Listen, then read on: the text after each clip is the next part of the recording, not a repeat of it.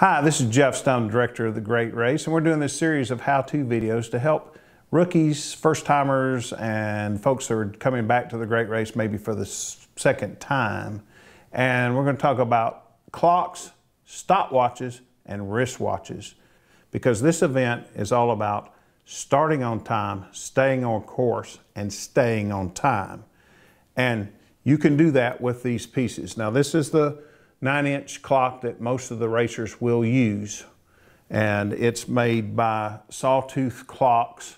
It's very consistent uh, second hand sweep, but it has a minute hand that is quite loose and it's quite easy to make a one minute error with the clock. When I rally, I don't use the clock any longer.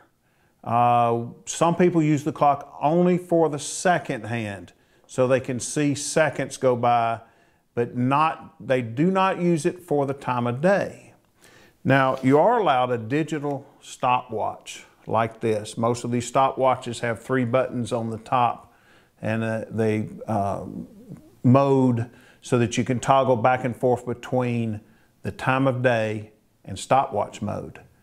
And if you get this stopwatch set correctly, you will not need that that clock. You can take it with you if you'd like and use it in emergencies, knowing that the minute hand could easily get off or as time is approaching the top of the hour when the second hand is up in the 55, 56 second uh, range, moving up to the zero at the top of the clock, the minute hand has already moved to the next minute.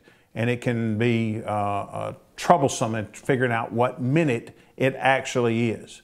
But the stopwatch, you can start and stop the stopwatch for a lot of maneuvers. A lot of maneuvers on this race will require the stopwatch for you to do a specific mover, maneuver for 25 seconds, maybe a minute and a half, maybe six or seven minutes.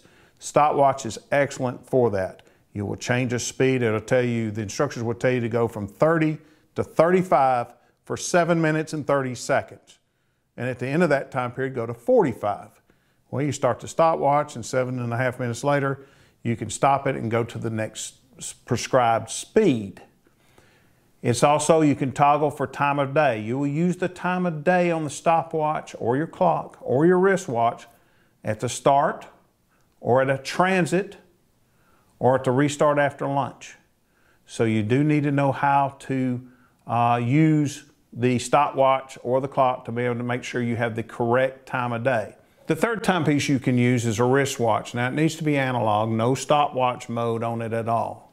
Now, how do I set these timepieces? Each morning at the official start, there will be the official clock that has the exact time of day that you can reset all of your pieces. And they probably will need to be reset after 24 hours uh, from the day before. Uh, you can also call WWV, and that number is provided to you uh, during the great race.